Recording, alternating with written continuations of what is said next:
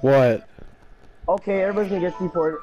oh, get me out of here! Anthony, Anthony. Yeah. What happened?